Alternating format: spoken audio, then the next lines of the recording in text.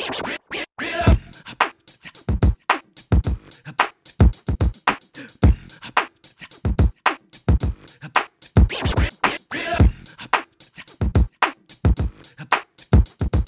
whole idea around the set is the idea of the performers kind of living and performing inside this cardboard box, two-dimensional, recyclable kind of urban world.